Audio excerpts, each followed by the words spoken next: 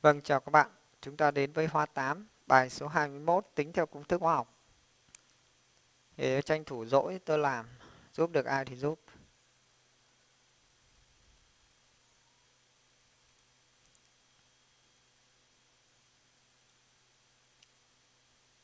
Bài số 1. Tìm thành phần phần trăm theo khối lượng của nguyên tố trong những chất sau. Thì ví dụ trong hợp chất C tìm thành phần phần trăm nguyên tố hóa học có trong những chất sau. Ví dụ trong CO thì có hai nguyên tố là nguyên tố C và nguyên tố O. Thì khối lượng của C là 12 tra trong bảng tuần hoàn, khối lượng O là 16, tổng là 28. Thì thành phần phần trăm về khối lượng của nó thì ví dụ phần trăm của C có trong gì nhỉ? CO2 à trong CO thành phần trăm của C trong CO thì nó bằng khối lượng của của C là 12 chia cho tổng khối lượng là 28 nhân với 100 thì bằng 12 chia 28 nhân 100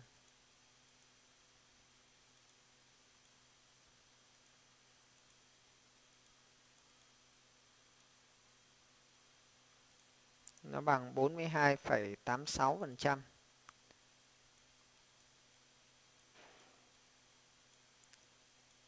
Thì phần trăm của oxy trong CO sẽ bằng 100% trừ đi 42,86%.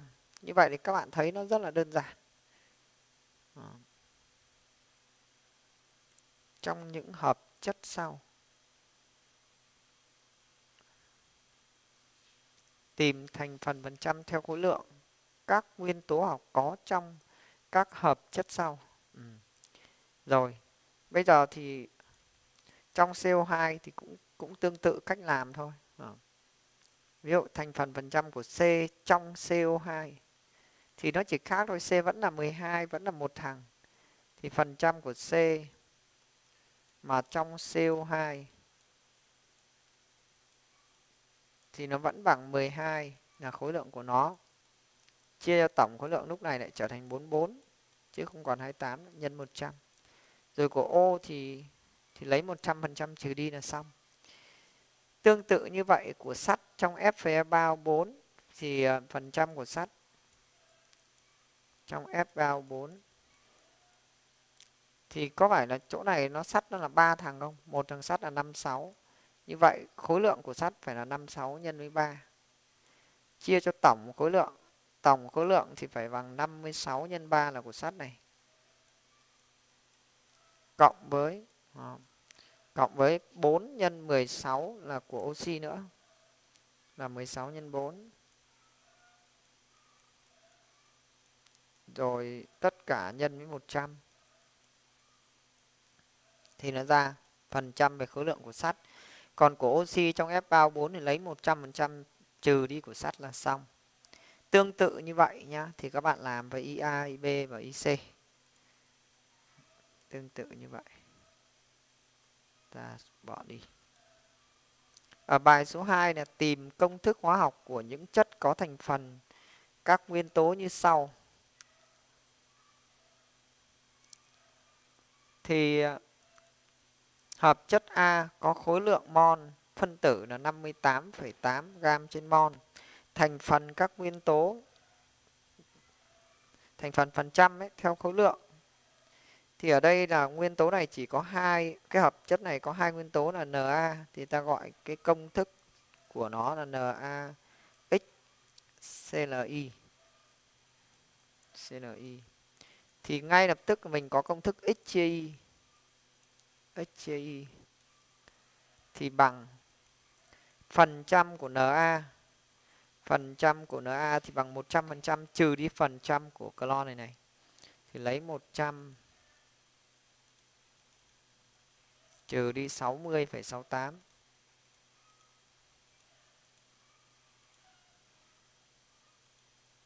39,32 bằng phần trăm của NA là 39,32 1,32 chia cho m lớn tức là chia cho nguyên tử khối của Na là 23 tra cho bảng tuần hoàn. 2 chấm với phần trăm của clo là 60,68 chia cho clo là 35,5 bằng với hai số thì người ta bấm thẳng như này nó ra tỷ lệ về số nguyên. Nhưng mà sau này còn có những bài làm với ba số 4 số để tập cho lớp 11 và lớp 9 thì mình sẽ làm như sau. Mình cứ bấm từng con một thôi là 39 các bạn có thể bấm ngay lập tức như này nhé phân số này 39,32 xuống 23 sang chia phân số 60,68 xuống 35,5 thường lớp 8 mà có hai thằng thì nó bấm phát như này bằng 69793 sắp xỉ 11 họ 69 697 697 9382 là nó sắp xỉ 11 phải không? Thế còn bình thường thì người ta sẽ làm như này, lấy 39 39,32 vì còn làm những bài có ba nguyên tố nữa, chia cho 23 đi. Thì nó được sắp xỉ là 1,7. 2 chấm. Rồi lấy ờ, 60,68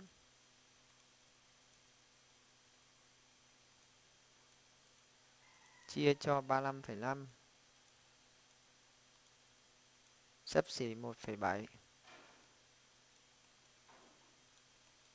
cho nên là nó tỷ lệ 11 suy ra cái công thức của nó là NA x bằng 1 y bằng 1 đấy Na CN thường thì nó làm như vậy và cũng không cần phải dùng đến cái 58,5 gam này đối với lại cái chương trình hóa vô cơ của lớp 8 thì ít khi dùng đến. Ừ, chỉ mình cộng vào xem nó có bằng 58,5 không thì 23 cộng 35,5 ra 58,5 thì ok rồi à, 11 đó. À, thậm chí là nó đoán luôn NA là 23 clo là 35,5 cộng vào 58,5 là 11 rồi. Làm sao mà hai được? Cho nên chỉ cần cho 58,5 không còn cho phần trăm bọn nó đã đa bán ra rồi. Nếu thi trắc nghiệm đúng không nào? Còn trình bày tự luận thì phải theo ý của người chấm. Cô thích thế nào thì trò trình bày như thế thì được điểm. Không theo ý cô là cô cho điểm thấp có thế mà thôi. Đây này trong cái trường hợp như ý b này, này có ba nguyên tố thì cứ công thức thế mà gọi công thức của đấy là na gọi công thức của nó là nax ci và oz thì ngay lập tức là mình cứ có cái công thức là x chia y chia z bằng phần trăm của NA là 43,4 chia cho M lớn của NA là 23. Cứ một công thức này cứ gặp mà làm. Phần trăm của carbon là 11,3 chia cho M lớn của carbon trong bảng tuần hoàn là 12. Phần trăm của oxy là 45,3 chia cho oxy là 16 bằng lấy máy ra bấm. 43,4 chia cho 23 bằng. Sấp xỉ 1,886 à? 1,89 đi nhỉ? 1,89 bấm thằng thứ hai. 11,3 chia cho 12 sấp xỉ 0,94 0,94 cái loại này mà thích để máy nó làm tròn hộ cho 0,94 tiếp 45,3 chia cho 16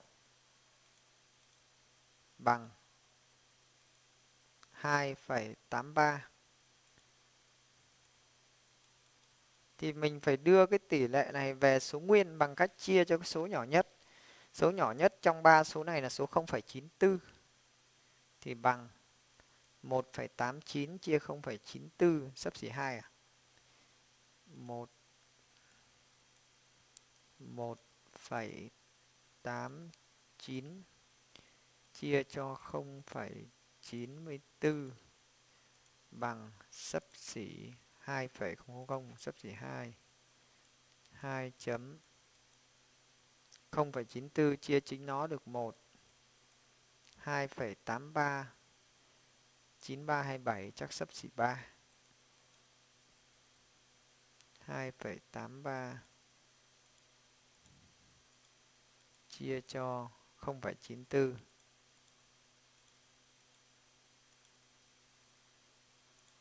sấp xỉ 3 như vậy công thức là Na 2 CO3 xong cộng vào nó đúng bằng 106 Đó, ổn. Đó là cái bài số 2 sang cái bài số 3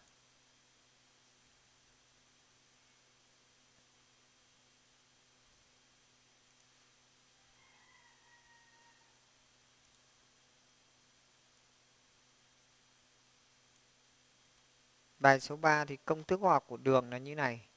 Có bao nhiêu mol nguyên tử CHO trong 1,5 mol đường. Như vậy số mol của C của C đó thì cái C chân của nó là 12 này.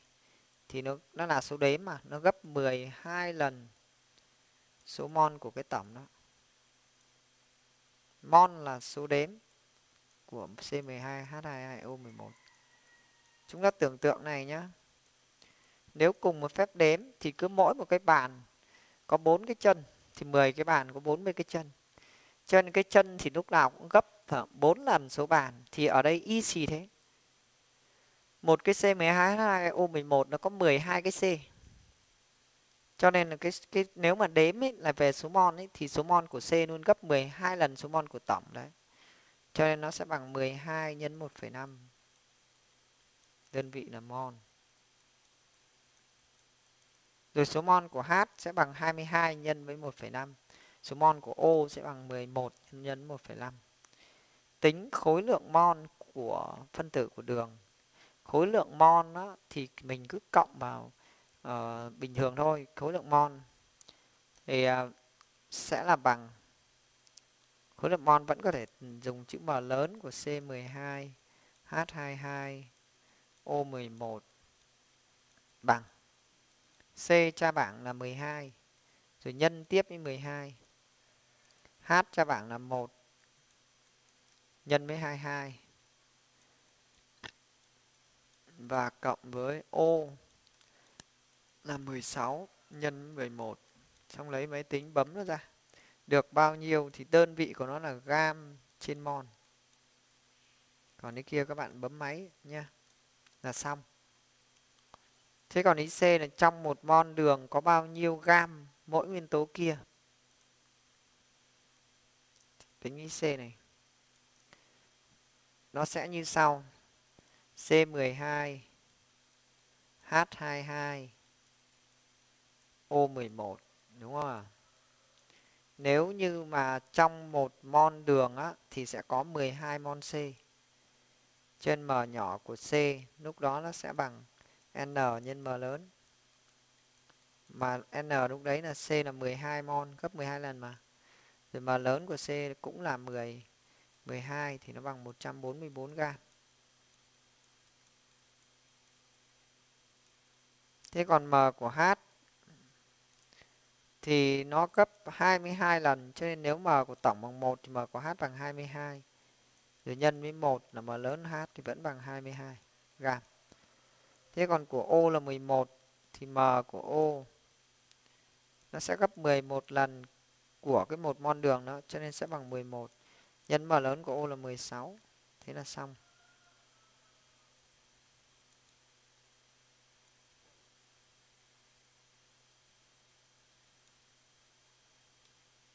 Bài 4 là một loại đồng oxit màu đen có khối lượng bằng 80. Oxit này có thành phần theo khối lượng là tìm công thức thì cái này cũng thế, gọi công thức là CUX rồi OI thì mình lại có x chia y, bằng phần trăm của đồng là 80 chia cho m lớn của đồng là 64 2 chấm phần trăm của ô phần trăm của ô là 20 một thằng 80 một thằng 20 chia cho m lớn ô là 16 bằng. 80 chia 64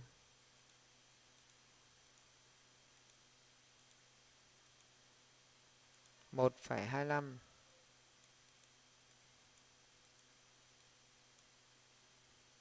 Thế còn lại 20 chia 16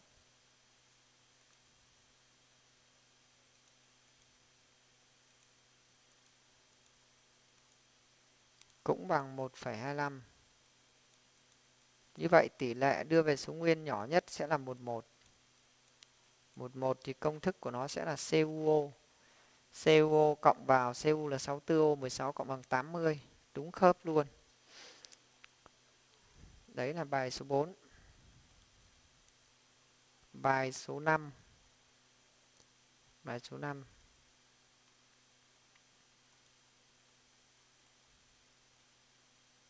Cũng cùng một cái loại đấy cả. Thậm chí là không dùng đến cả cái ý A này luôn. Làm thẳng ý B thôi. Gọi công thức của nó là HX. SI thì cũng có là x chia y bằng của h là 5,88 chia cho h là bằng 1 2 chấm S là 94,12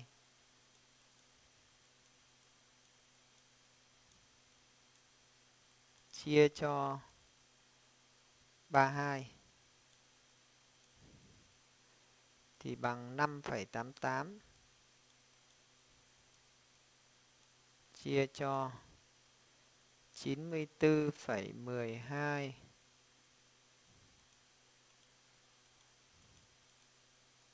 chia cho 32 bằng 2,94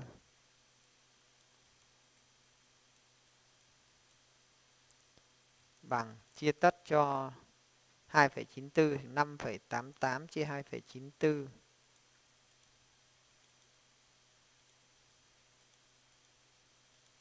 để về dạng số nguyên bằng 2.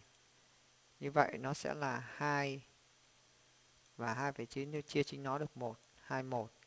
Nó là H2S. H2S, S là 32, H2 nữa là 6 là 34. 34 thì gấp 17 lần của Hiro Hiro nhân 2 bằng 34 đúng không? Là xong cái bài 5. Tính theo phương trình hóa học.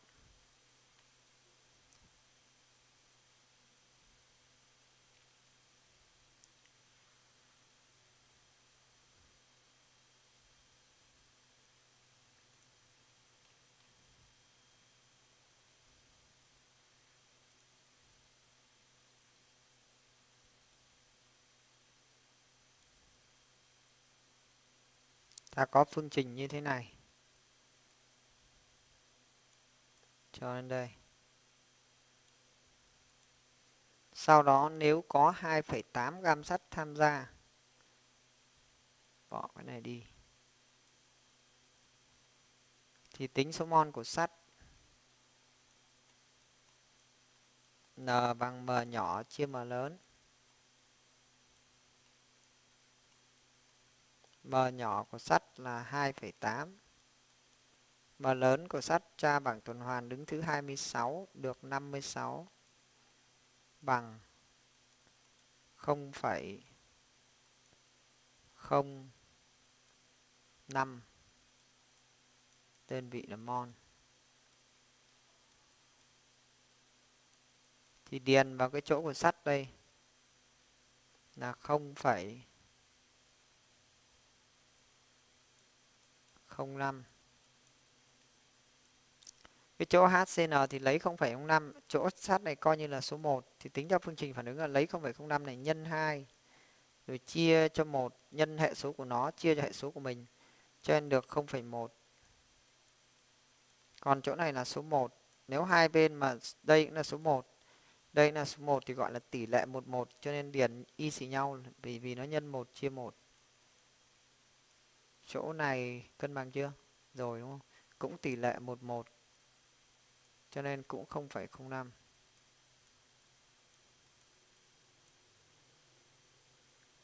thì thể tích hydro thu được điều kiện tiêu chuẩn là bao nhiêu? Theo phương trình phản ứng 1 thì số mol của từ số mol của FE bằng 0,05 suy ra được số mol của H2 là 0,05 suy ra được thể tích của hydro ở điều kiện tiêu chuẩn là 0,05 N nhân 2,4 bằng 0,05 nhân 22,4 thì bằng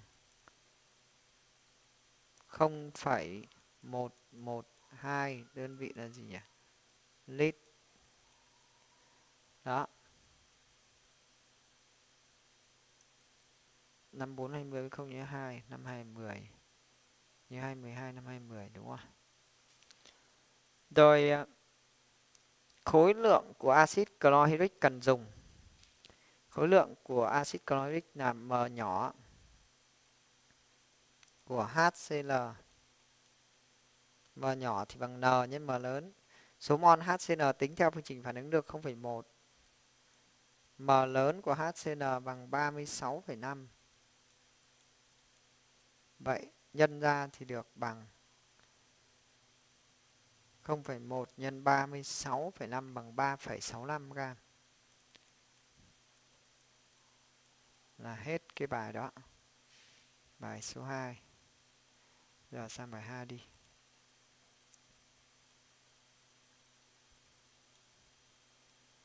Lưu huỳnh cháy trong không khí sinh ra SO2. S cộng O2 ra SO2.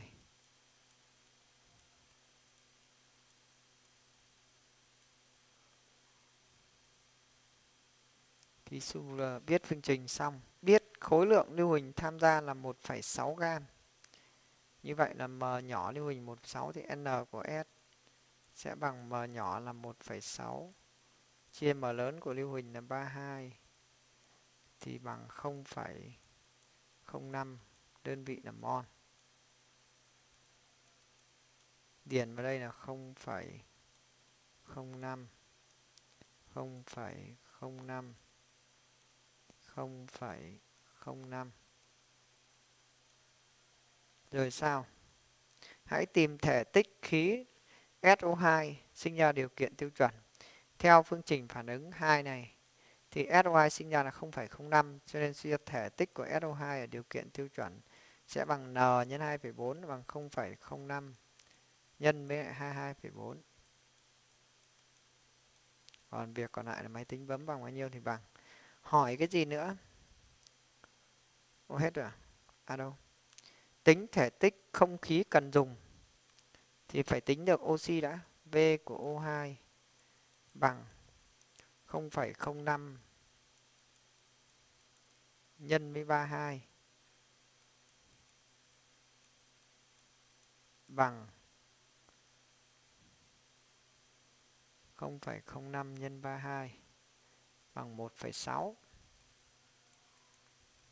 đơn vị ôi chết xin lỗi 0,05 tính cái gì? Tính thể tích của oxy nhân 2,4 buồn ngủ quá này. Ở điều kiện tiêu chuẩn. Từ từ vào nhỉ? Thể tích của đúng rồi theo phương trình phản ứng biết được số mol của oxy tính thể tích của oxy đã nhá. Bằng 0,05 nhân 2,4 bằng bằng 10 bằng 1,12 lít. 1,12 lít. Xong rồi thể tích thể tích của không khí thì gấp 5 lần thể tích của oxy cần dùng. Nên thể tích của không khí cần dùng là 1,12 này nhân với 5 là hết. Cái bài 2 cái bài 2 ý B tôi chờ nhắc lại như sau nhé. Tính số mol lưu huỳnh là 0,05 này. Điền vào phương trình phản ứng là 0,05 bắn sang được oxy và SO2 này. Tính được thể tích của O2 bằng cách nhân 0,05 chia nhân 2,4 này. Sau nhân 5 lần O2 lên thì, thì, thì tìm được không khí. Thì không khí luôn gấp 5 lần O2 không khí cần dùng gấp 5 lần O2 cần dùng.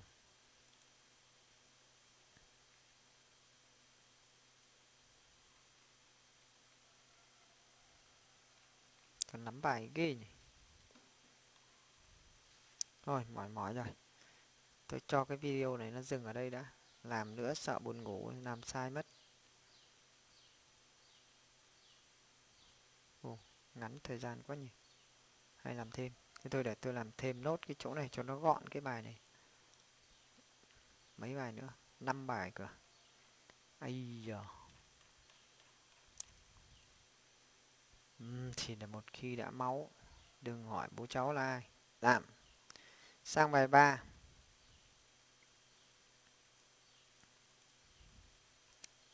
nào thì bài 3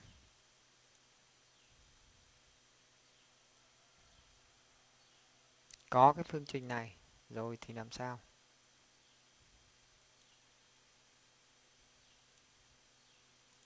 Cần dùng bao nhiêu mol CaCO3 để điều chế được 11,2 gam CaO thì bây giờ phải tính được số mol CaO đã. Số mol CaO thì bằng m nhỏ chia cho m lớn.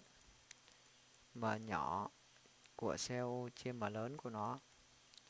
M nhỏ của CaO là 11,2 gam là 11,2 M lớn của CaO là Ca là 40 tra cho bảng tuần hoàn. O là 16 40 cộng 16 là 56 bằng. Đó. 11,2 chia cho 56 bằng 0,2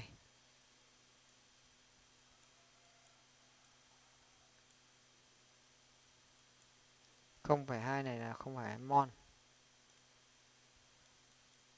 sau đó điền vào chỗ CaO bắn sang của CO2 chuyển sang bên này cũng 0,2 hỏi cái gì? Cần dùng bao nhiêu mol CaCO3 thì trả lời là cần dùng 0,2 mol CaCO3 muốn điều chế 7 gam thì cần dùng bao nhiêu? Có nghĩa là ý B là một bài khác nha ý A là 11,2 ý B thì bây giờ chỉ còn có 7 thôi. Phương trình để lại. Rồi xóa ý A đi. Ý A coi như xong rồi.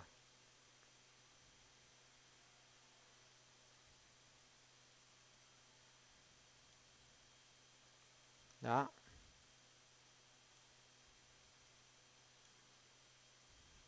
Xóa ý A đi thì bây giờ mình chuyển 7 gam này về mol cái đã. Thì mình lại có n.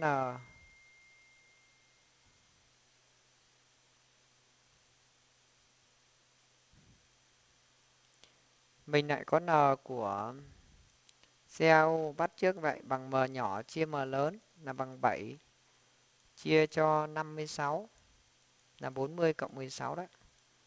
Bằng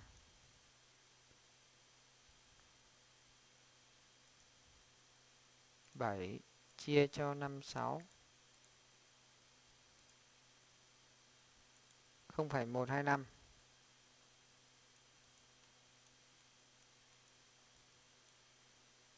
Đó, thì điền vào đây là 0,125 thì CaO, CaCO3 cần dùng cũng đúng bằng từng đấy luôn vì tỷ lệ là 11 đây mà. 0,125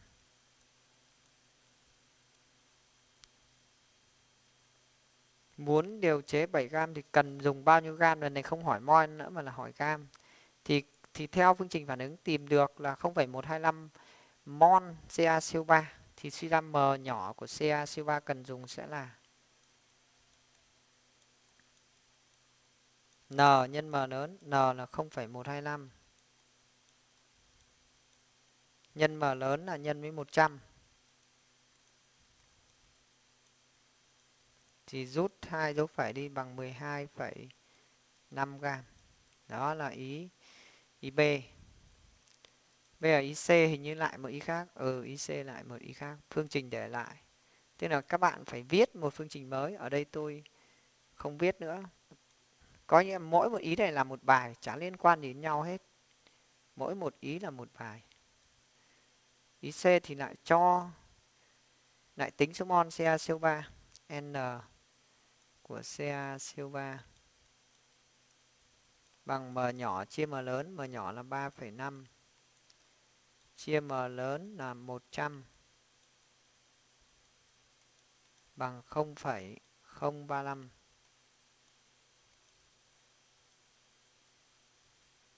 điền vào đây.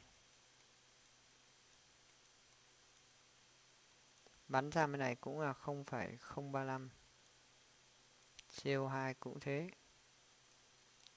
Tỷ lệ 11 hết đúng không? Rồi sao? Hỏi thể tích CO2 ở điều kiện tiêu chuẩn thì V của CO2 nó bằng N nhân 2,4 bằng 0,035 nhân với 22,4 nó ra lít là xong hết IC bây giờ đến ID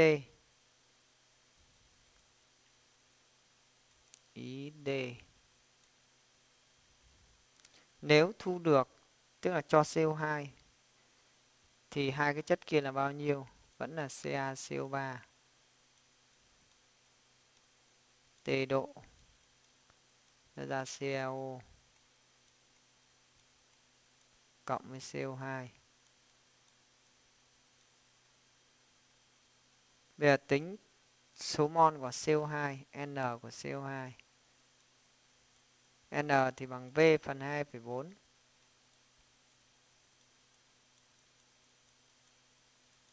Bằng 13,44 chia cho 22,4 bằng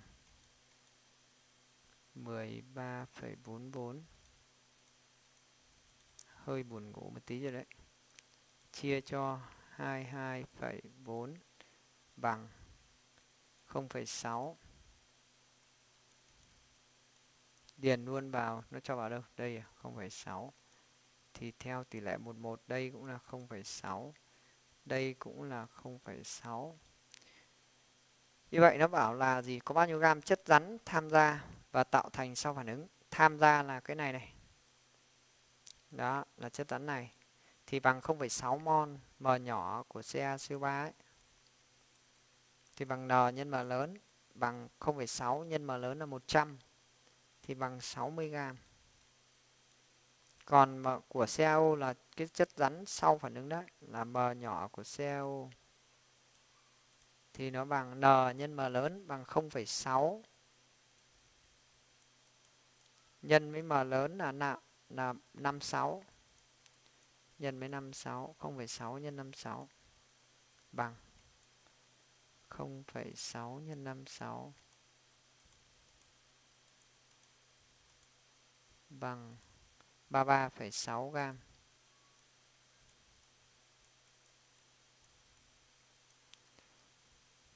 Hết. Bài số 4.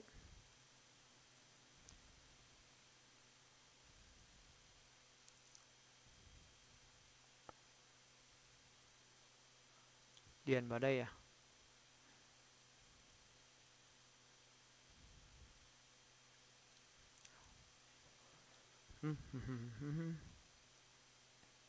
Thôi, tôi chả làm nữa để sau để sau tôi làm.